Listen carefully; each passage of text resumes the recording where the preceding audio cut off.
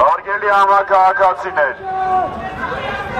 կառավարության նիստը հենց նոր մեկնարկեց։ Մի հատ խնդրում եմ ասեք ինձ, այսպես ժողովրդից պաշտպանվելով իրեն ժողովրդի վարչապետ հրճակած խեղ կատակը կարող է մնալ վարչապետի աթոռի։ Ոչ, ոչ,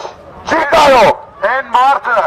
որին հայ առաքելական եկեղեցու սպասավորը ձեռք չի մեկնում,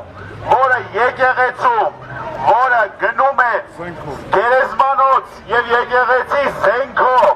որին գերեզմաններ գնալու համար պետք է ստիպել իր կողմնակիցներին, որ իր հետևից գան։ Իրավունք ունի Հայաստանի վարչապետ լինելու։ Ոչ։ Այն մարդը, որը հայ է առաքելական եկեղեցու սպասավորի տուն, խոզարկություն է ուղարկում։ Իր կողմնակիցներին էլ ստիպում է, որ գնան եկեղեցում այդ մարդու վրա հարձակվեն։ Իրավունք ունի այս շենքում մնալու։ Հետո էլ ասում է, թե ես կողմնակիցներ ունեմ, ժողովուրդը իմ կողմից է։ Այսպես էլ ժողովրդից պաշտպանվում, ժողովրդի մի մաս կազմող ոստիկանով։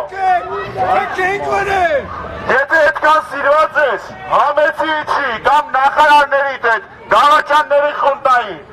երաշխավորում են, որ որևէ մեկին որևէ վնաս չի տրվի։ Եթե այդքան վստահ են ժողովրդի վրա, թող այս դռնով դուրս գան ու գնան իրանց ծառայողական մեքենաները նստեն։ Այդ ժամանակ կլսեն ժողովուրդը իրանց մասին ինչ է մտածում։ Նիկոլ, դավաճան, Նիկոլ,